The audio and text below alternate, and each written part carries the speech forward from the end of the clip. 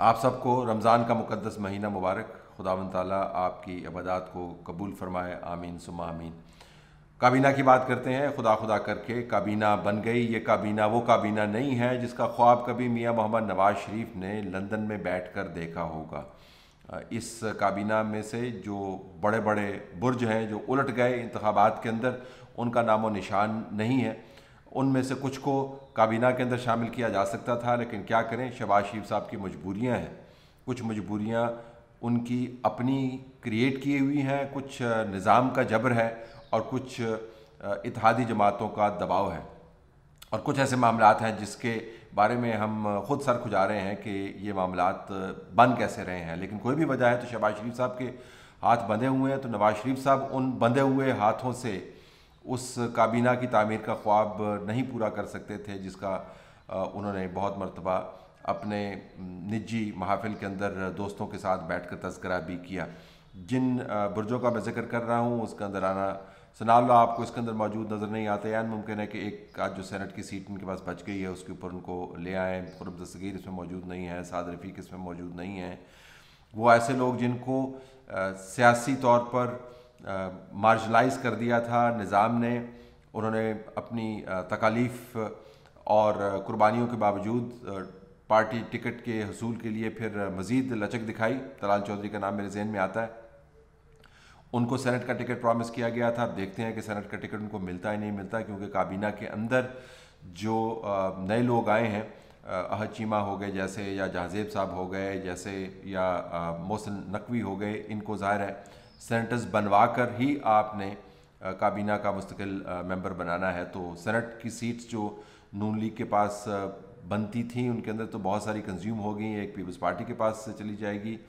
तो जो दो तीन सीटें रह गई हैं, उसके ऊपर उन लोगों की बहुत बड़ी तादाद, जिनको पार्टी ने वादे वईद किए थे कि जी हम आपको अकामोडेट करेंगे, निज़ाम के अंदर अकामोडेट करना मुश्किल हो जाएगा। तो एक तो वो बहुत बड़ा धचका है। फिर ये कि जो बुर्ज उलट गए थे, उनको अब ज़ाहिर है आप किसी न किसी तरीके से वापस लाने की कोशिश तो कर सकते हैं, लेकिन जिस भगदड़ में ये काबीना तश्कील दी जा रही है, उस भगदड़ में तो उनका कोई इम्कान नहीं है। तो उसके अंदर जो कॉम्पिटेंस का लेवल है, वो बहुत कम होगा। कंफर्ट का लेवल जो है, वो बहुत कम होगा नून लीग के लिए, क्योंकि इसके अंदर एम के एम के नुमाइंदगान मौजूद हैं, इसके अंदर क्यू के नुमाइंदगान मौजूद हैं, इसके अंदर आई पी पी की जमात की नुमाइंदगी यहाँ पर मौजूद है और इसके अंदर ऐसे लोग भी मौजूद हैं जो नून लीग के इंसाइडर कहते हैं कि वो नामालूम हैं या नामालूम के नुमाइंदगान हैं। अब काबीना शबाज शरीफ साहब की है और वो कहते हैं कि नामालूम लोगों के नुमाइंदगान है तो ये एक बड़ी अजीब सी सूरत हाल बनती है। तो शबाज शरीफ साहब के लिए जो कंफर्ट लेवल होगा अगर जिनकी रिक्वायरमेंट की बहुत ज़्यादा नहीं होती कंफर्ट लेवल के लिए, उनको सिर्फ़ अपने अहदे के हद तक मामला को देखना है कि वो प्राइम मिनिस्टर बन गए हैं, यही काफ़ी है।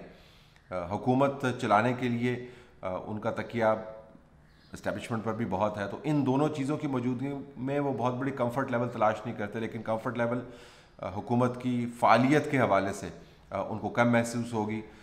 नवाज़ शरीफ का इस काबीना से इतना ही ताल्लुक़ है जितना उनका पार्टी के साथ ताल्लुक़ था जब वो लंदन में मौजूद थे। या जितना अब उनका ताल्लुक है पार्टी और गवर्नेंस के मामला से जब काबीना अपना ओथ उठा लेगी। तो नवाज़ शरीफ का इन्फ्लुएंस आप में आपको कम नज़र आएगा। शबाज शरीफ का कंफर्ट लेवल आपको कम नज़र आएगा। फंक्शनैलिटी के ऊपर बड़े सवाल निशान है। नई टीम है। पुराना तजर्बा इसके अंदर मौजूद नहीं है।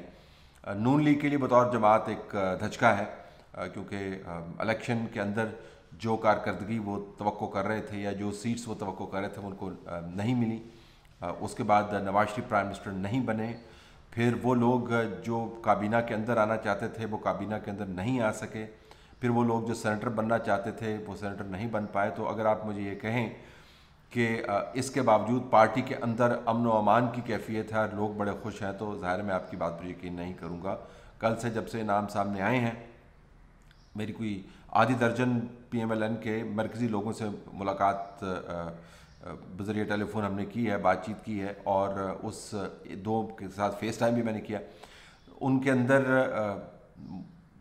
इतफ़ाक़ की बात है कि उनमें से एक जो है वो काबीना का हिस्सा बस बनते बनते रह गए। तो वो खुश नहीं है। तो छः लॉग जिसमें से चार टेलीफोन के ऊपर बावजूद इसके कि शायद उनके ख्याल में लाइंस बग थी। अगर जो हम व्हाट्सएप पे बात कर रहे थे और दो फेस टाइम के ऊपर जब ऊपर ओपनली बात कर रहे हैं हम सहाफ़ियों के साथ तो फिर आप अंदाज़ा कर सकते कि पार्टी के अंदर वो कैसी बात कर रहे होंगे। तो नून लीग बहरहाल इस काबीना के साथ उन्होंने काम चलाना है। जो मसाइल हैं, उनका अंबार बहुत बड़ा है, ये फिर चौथा बहुत बड़ा फैक्टर होगा शबाज शरीफ के लिए। जो ही आपने आईएमएफ के साथ माहा करना है, फिर आप देखिएगा कि मुल्क के अंदर महँगाई का एक और तूफ़ान आना है। उस तूफ़ान को आपने कैसे निपटना है, उसके कॉन्सिक्वेंसेस से आपने कैसे निपटना है। आपने देखा होगा कि पहले दो एपिसोड्स के बाद, यानी पीडीएम के बाद और फिर निगरान हुकूमत के दौरान, जो भी मलबा इकट्ठा हुआ, वो नून लीग के सर पर आकर गिरा। और जिसकी वजह से उनका जो मेन कंपेटिटर है इमरान खान, उसकी मकबूलियत में इजाफा हुआ। अब अगर कोई ये कहे कि इमरान खान मकबूल नहीं हो रहा तो वो भी बिल्कुल गलत बात होगी, इलेक्शन के अंदर उनकी कारकर्दगी आप देख लें। और उसके अलावा जो बज़ है मार्केट के अंदर, वो बज़ बहुत फेवरेबल है इमरान खान के लिए। तो नून लीग का जो मेन कंपेटिटर है, वो इनकी आधी गलतियों और निज़ाम की सख्तियों और जबर की वजह से वो दोबारा से उभर के सामने आ रहा है। जब आईएमएफ के साथ माहे करेंगे और सख्तियाँ होंगी तो उस सख्ती के नतीजे में जो नफ़रत उबलेगी वो इमरान खान के हक में जाएगी। पार्टी के अंदर से आपको सपोर्ट मिलनी नहीं, क्योंकि आपने बहुत सारे लोगों को नाराज़ कर दिया काबीना की वजह से इंतबात के नतज के ऊपर चुप साधने की वजह से। वो सपोर्ट आपको नहीं मिलेगी। और इसके साथ साथ फिर एक और बड़ा इशू है, और उस इशू के अंदर जो चीज़ पेश पेश है वो है पकड़ धकड़ अब असदूर के केस में आपने देखा होगा कि जस्टिस काजी फाइजीसा ने कैसे रिमार्क्स दिए हैं। उन्होंने एफ़ आई ए के लोगों की सरजनिश की है और जो एफ़ आई आर दर्ज की गई है असदूर के ख़िलाफ़, उसको उन्होंने धेड़ के रख दिया। और उन्होंने कहा कि एफ़ आई ए हमारे कंधे पर रखकर बंदूक चला रही है। हमने कब कहा था कि लोगों को पकड़े? हमने कौन सी शिकायत आपसे की थी? तो ये पकड़ धकड़ है। उससे पहले जो एहतजाज हो रहा था, उसके अंदर लतीफ़ खोसा और दूसरे लीडरान को आपने पकड़ा। सुप्रीम कोर्ट बार एसोसिएशन की तरफ़ से उसके ऊपर एहतजाज आ गया। तो पकड़ धकड़ का सिलसिला जारी रहेगा, यानी कि जो आदात हैं के टेकर हुकूमत के दौर की या उससे पहले की, वो आदात जारी रहेंगी। निज़ाम की और उस निज़ाम के कामों की वजह से जो भी नतज निकलेंगे, वो आपको भुगतने पड़ेंगे। तो आप उसके साथ कैसे डील करेंगे? आपका जो जमहूरीत का इंडेक्स है, वो बतदरीज गिरता चला जाएगा।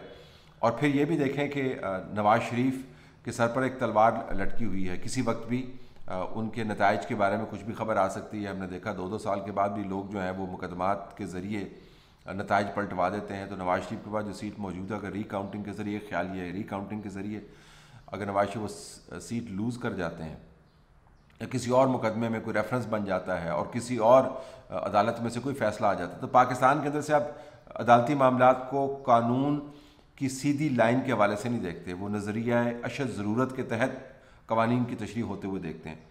तो नवाज़ शरीफ जिन्होंने वैसे ही इजतनाब बरता हुआ है, पंजाब तक अपने आप को महदूद कर दिया है, उनके सर पर जो तलवार लटकी हुई अगर किसी दिन तलवार गिर गई तो फिर पार्टी का तो धड़न तख्ता हो जाएगा।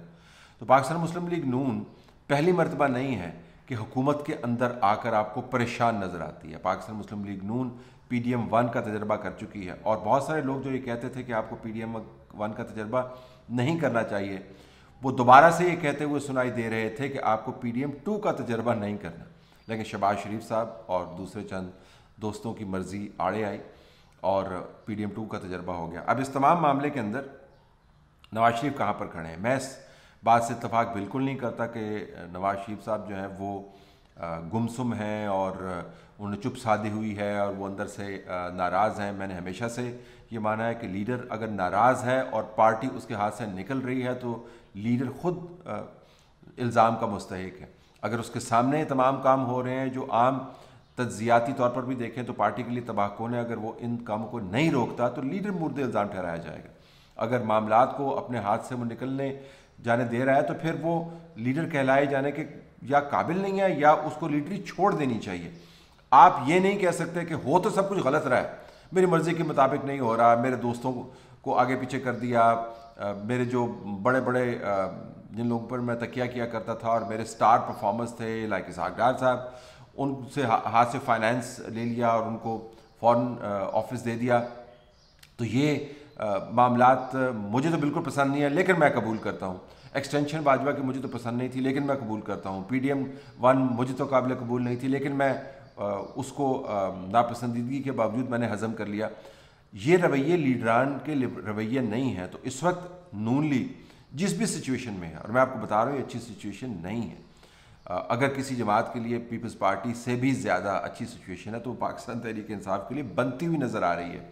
ये नहीं है कि मुकम्मल तौर पर उनके मसले ख़त्म हो गए, उनके मसले बड़े गंभीर हैं, लेकिन जो मवाफिक माहौल उनके लिए बन रहा है वो नून लीग की सिचुएशन से यकसर मुख्तलिफ़ है।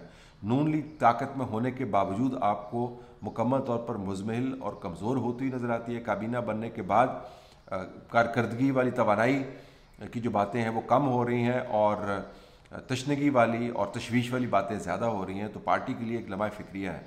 More than the party Nawaz Sharif के लिए लम्हा फ़िक्री है कि उनकी मौजूदगी के बावजूद अगर पार्टी के साथ ये हो रहा है तो ये आर्गूमेंट वो नहीं कर सकते कि मैं हूँ तो मौजूद, लेकिन गैर मौजूद हूँ। मुझे पसंद तो नहीं है, लेकिन मैं इसको हज़म कर रहा हूँ। अगर वो पार्टी की पॉलिसी से इतफाक़ नहीं करते तो he needs to take charge अगर वो चार्ज नहीं लेते इन मामला का तो लामहला यही हमें नतीजा खस करना पड़ेगा कि इन तमाम मामला में नवाज़ शरीफ की अपनी मर्ज़ी शामिल है। सिर्फ़ ये है कि शहबाज शरीफ फ्रंट पर है और नवाज़ शरीफ पीछे रह के खेल रहे हैं।